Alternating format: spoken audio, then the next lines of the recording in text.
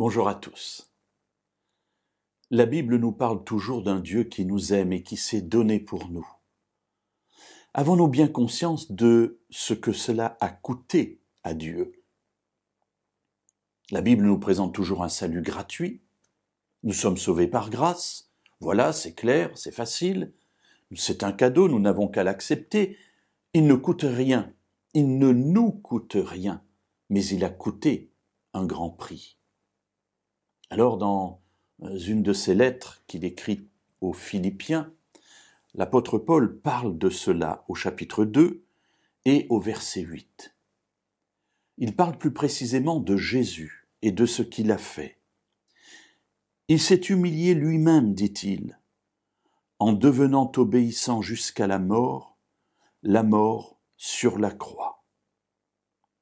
Voilà, Jésus est devenu obéissant c'est-à-dire qu'il a accepté le plan du Père.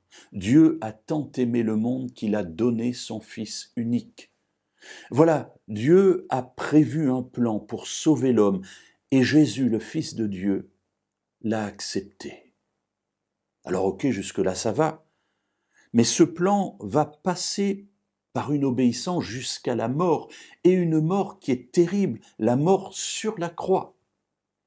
Mes amis, si vous ne savez pas ce que c'est qu'une crucifixion, allez dans les ouvrages, faites-vous décrire ce que c'est, et vous verrez que c'est une mort terrible.